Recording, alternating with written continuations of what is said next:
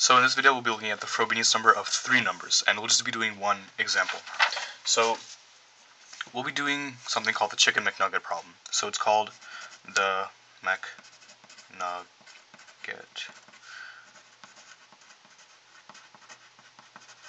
So this problem's been around since like the 1980s and basically it states that chicken McNuggets come in three types of boxes. Come in packs of 6, 9, and 20. So that was at some time when they only came in these three types of boxes. So now it's the, asking the same exact question. Remember the previous examples we did with two numbers we found the Frobenius number? We want to find the Frobenius number with these three numbers. So there's no explicit formula for this that's been found, but we can use algorithms, and in this case we'll just use uh, the same kind of strategy we have been using. So first let's just look at these two numbers, 6 and 9. So let's try to find the Frobenius number of these two.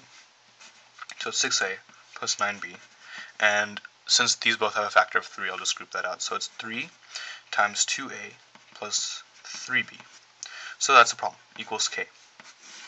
So what kind of values can this form? So let's look at the inside, 2a plus 3b. Remember in the first example we found that the Frobenius number of 2 and 3 was 1. So basically this cannot equal 1, which means that k cannot equal 3. But now this can equal to every natural number, so 2a plus 3b equals all all natural numbers after 1. That means that if this can equal every natural number, this can equal 2, 3, 4, 5, 6, that means 3 times that number equals every single multiple of 3 except 3 itself. So we can't let k equal 3, but we can let it equal all 3k. Um, I'm going to use a little different notation for this actually. I'm going to say equals all 3j, where j does not equal 1. Okay? And we're going to also say that j is greater than or equal to 0. Okay? So any 3j, where j meets these conditions. So remember that lemma we used in the previous problem? We're going to use a similar lemma. So we're going to say lemma. All natural numbers are 3k, 3k plus 1, or 3k plus 2. Okay, and we know that's true.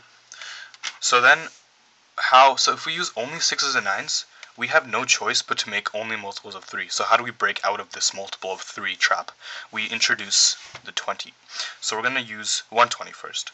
So we're going to say, um, remember this is the problem statement, 3 times 2a plus 3b, and introduce a 20.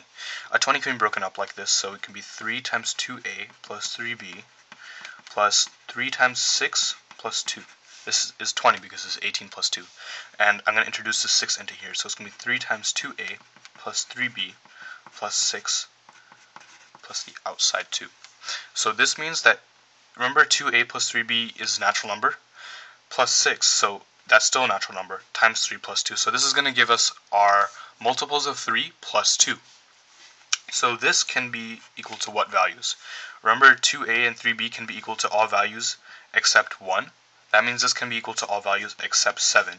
And of course has to be greater than 0. So, um, and it can't be anything less than 7 either because that would mean this is negative. So it has to be greater. Um,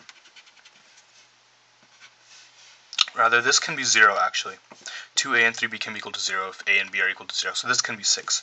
So it just needs to be greater than or equal to 6, but cannot equal 7. So that means that starting here, we're going to say, we're going to let that be k. k is some integer that is not equal to 7 and is greater than or equal to 6. So we can form all 3k plus 2 of that form. And let me get different paper actually, running out of room. Okay, so now we'll go on this paper. Now, now we have two things under our belt. We can form all 3k plus 2 and all 3j. But how do we form things that are multiples of 3 plus 1? So let's see, just introduce another 20.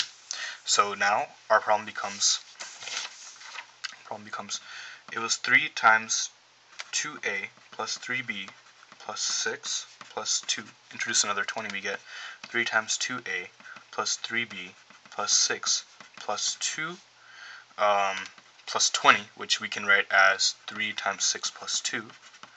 And so we get 3 times 2a plus 3b plus another 6 becomes 12 plus 4. And this 4 contains another multiple of 3 again, so we have to do 3 times 2a plus 3b plus 13 plus 1. So we're going to let this quantity be defined as L. L can be what? So since this cannot be equal to 1, uh, L cannot equal 14, and L must be greater than or equal to 13, because this can be 0. So that means we can form all 3L plus 1. So now we have multiples of 0, uh, sorry, we have multiples of 3 plus 0, multiples of 3 plus 1, and multiples of 3 plus 2.